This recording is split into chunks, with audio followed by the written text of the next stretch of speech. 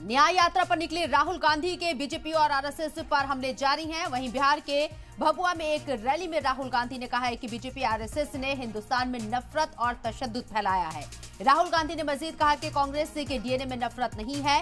राहुल ने कहा कि हम बीजेपी के खिलाफ मिलकर लड़ेंगे क्योंकि हमारे डीएनए में नफरत नहीं है। राहुल ने ये भी इल्ज़ाम लगाया कि अग्निवीर जवान के शहीद होने पर उसको शहीद का दर्जा नहीं मिलेगा। आज मुल्क के हर कोने में नाइंसाफी हो रही है।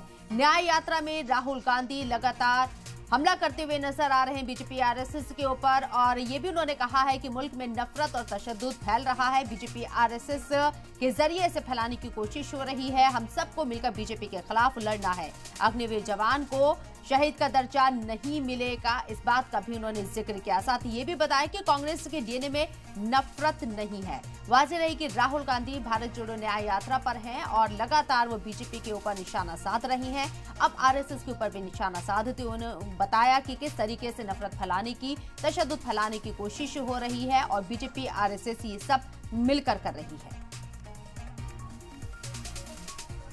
मुस्कुराते हुए दिखेंगे कांग्रेस पार्टी हमारे नेता बैठे थे वो सब मुस्कुरा रहे हैं और बीजेपी के नेताओं को चेहरा देखो, नरेंद्र मोदी को देखो, अमित शाह को देखो, राजनाथ सिंह को देखो तो चेहरा ऐसे होता है।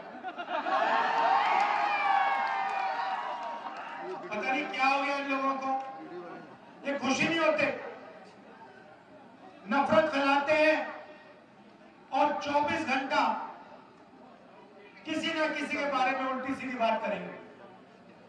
हम मोहब्बत की दुकान खोलते हैं और आप सब कांग्रेस के कार्यकर्ता आरजेडी कार्यकर्ता 24 घंटा मोहब्बत की दुकान खोलिए।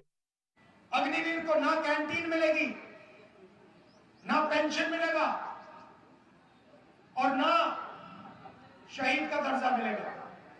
के साथ और भैया ये बताओ ये धोखा क्यों हो रहा है?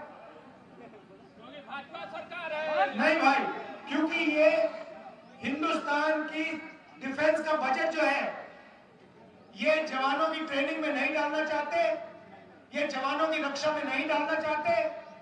ये अदानी के लिए, हथियार खरीदने के लिए हिंदुस्तान के बजट का पूरा पैसा उसको देना चाहते। इसलिए हुआ ये।